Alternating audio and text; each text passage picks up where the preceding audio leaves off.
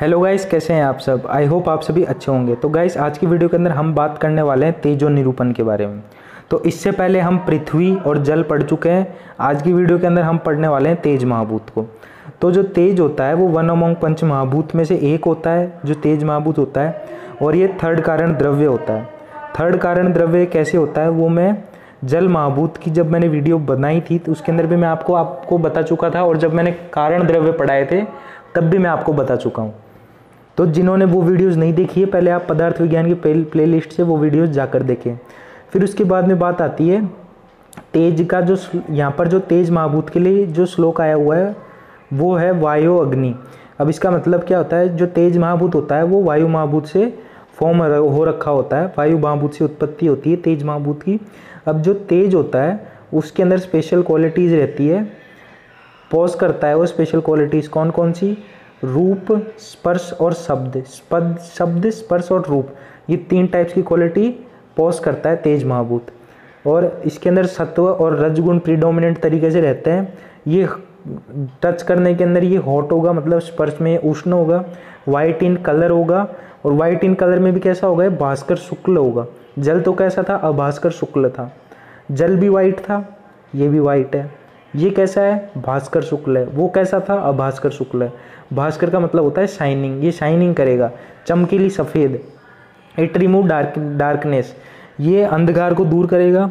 It is responsible for परिवर्तन। ये change करने के लिए रिस्पॉन्सिबल रहेगा। चीज़ों को एक फॉर्म से दूसरी फॉर्म में कन्वर्ट करने के लिए तेज महाभूत ही होता है। रिस्पॉन्सिबल चेंज करवाने के लिए उनको। फिर उसके बाद में जो तेज होता है, उसके अंदर इलेवन क्वालिटीज़ प्रेजेंट होती है। वो पॉज करता है इलेवन क्वालिटीज़ फिर उसके बाद में बात आती है importance in Ayurveda of tej mahabhut. अब तेज महाभूत का क्या क्या इंपॉर्टेंस है? आयुर्वेदा के अंदर वो अब हम देखते हैं। तो जो पित्त दोष होता है वन अमोंग त्रिदोष त्रिदोष आपको पता है, वात पित्त कफ होते हैं, उसके अंदर जो पित्त दोष होता है, वो मेजरली फॉर्म हो रखा होता है तेज महाभूत की वजह से। फिर आपने आयुर्वेदा के अंदर त्रयोदशा अग्नि भी पढ़ी होगी। अग्नि थर्टीन टाइप्स की अग्नि पढ़ी होगी। थर्टीन टाइप्स की अग्नि कौन कौन सी होती है? जठार अग्नि पंच भौतिक अग्नि और सप्त धातु अग्नि। पंचभौतिक अग्नि तो होती है पाँच, सप्त धातु अग्नि होती है सात और जठार अग्नि होती है एक। इन सबको अगर मिलाएँगे तो ये थर्टीन टाइप्स की अग्नि बन जाएगी। और ये जो अग्नियाँ होती है, ये हमारे भोजन का पाक करवाने के अंदर काम में आती है। फिर उसके बाद में थर्मल रेगुलेशन के अंदर भी काम में आता है। Maintain normal temperature of the body फिर उसके बाद में क्लासिफिकेशन ऑफ़ अग्नि। अब हम अग्नि का क्लासिफिकेशन करते हैं। तो जो अग्नि है, उसको यहाँ पर भी दो प्रकार के अंदर बांटा गया है। सेम वही टेबल रिपीट हो रही है हर जगह। पहला है नित्य, दूसरा है अनित्य। नित्य को बोला हमने परमाणु रूप, अनित्य को बोला हमने कार्य रूप। फिर जो अनित्य है, उसको फर्दर थ्री टाइप्स के अंदर बांटा गया है। पहला है शरीर तेजस, दूसरा है इंद्रिय तेजस, तीसरा है विषय तेजस। अब शरीर तेजस क्या होता है? ये प्रेजेंट होता है आदित्य लोक में। अब इंद्रिय तेजस कहाँ पर प्रेजेंट होगा? ये चक्षु इंद्रियों में प्रेजेंट होगा और ये रिस्पॉन्सिबल होगा विजुअल परसेप्शन के लिए मतलब देखने के लिए ये रिस्पॉन्सिबल रहेगा।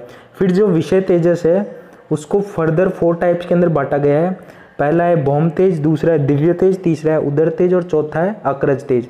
अब भौम तेज का मतलब क्या होता है? भौम मतलब भूमि, मान लो means earth produce from earth ये अर्थ से प्रेजेंट अर्थ से प्रोड्यूस होगा ये।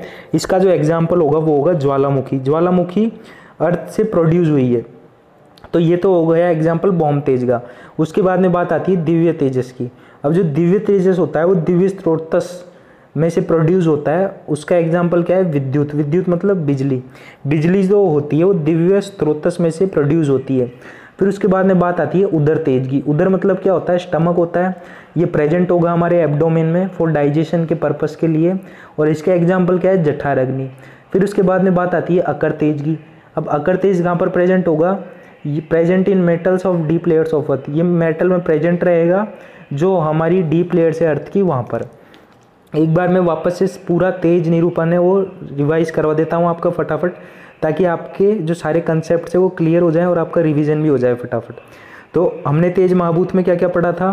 तेज महाभूत, वन अमोंग, पंच महाभूत में से है एक है ये पंच महाभूतों में से, और एक थर्ड कारण द्रव्य है, इसके लिए जो श्लोक आया हुआ है वो है वायु अग्नि।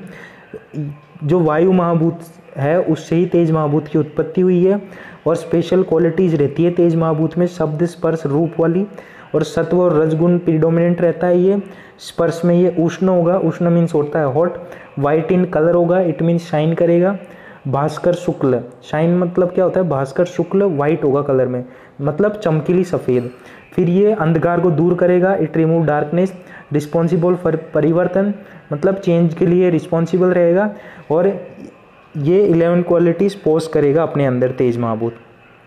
फिर इसका आयुर्वेद में इंपॉर्टेंस क्या है? पित्त दोष के अंदर ये मेजरली फॉर्म होता है तेज महाभूत की वजह से। पित्त दोष क्या है? वन अमोंग थ्री दोष है पित्त दोष फिर उसके बाद में जो त्रयोदश अग्नि है थर्टीन टाइप्स ऑफ़ अग्नि, वहाँ पर भी इसका इंपॉर्टेंट रोल है। पंच भौतिक अग्नि, सप्त धातु अग्नि, जठार अग्नि, ये तीनों अग्नियाँ होती हैं। इन तीनों अग्नियों को मिलाकर थर्टीन टाइप्स की अग्नि बनती है। पंच भौतिक तो अग्नि होती है, पाँच सब धातु अग्नि होती है, सात और जठार अग्नि होती है, एक।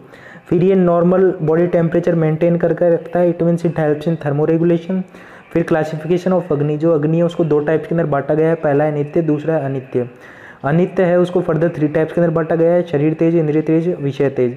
शरीर तेज means it is present in Aditya लोग, इंद्रिय तेज मीन्स चक्षु इंद्रियों में प्रेजेंट होगा। It is responsible for visual perception फिर उसके बाद में जो थर्ड टाइप है, वो है विषय तेजस। अब जो विषय तेज है, उसको फोर टाइप्स के अंदर फर्दर बांटा गया है। पहला है भौम तेज, तीस, दूसरा है दिव्य तेज, तीसरा है उदर तेज, चौथा है अकृत तेज। अब जो भौम तेज होता है, वो अर्थ में से प्रोड्यूस होगा। एग्ज़ाम्पल ज्वालामुखी, दिव्य तेज प्रोड्यूस होगा दिव्य स्त्रोतस में से। एग्ज़ाम्पल विद्युत इट मीन्स बिजली। थर्ड है उदर तेज। उधर मतलब होता है स्टमक प्रेजेंट हो गए एब्डोमेन के अंदर डाइजेशन के पर्पज़ के लिए। एग्ज़ाम्पल है जठार अग्नि और चौथा है अकर तेज। Present in metals of deep layer of earth I hope guys जो तेज महाभूत है, जो हमारा ये तेज निरूपण जो हमने आज की वीडियो के अंदर पढ़ा है, ये आपको अच्छे से समझ में आ गया होगा। और कई, और कोई डाउट्स आपका रह जाता है तो आप कमेंट सेक्शन में कमेंट करके पूछ सकते हैं। और गाइज़ अगर आपको ये वीडियो पसंद आई हो तो मेरी वीडियो लाइक करें, ज़्यादा से ज़्यादा शेयर करें अपने दोस्तों में। थैंक यू दोस्तों हमारी वीडियो देखने के लिए।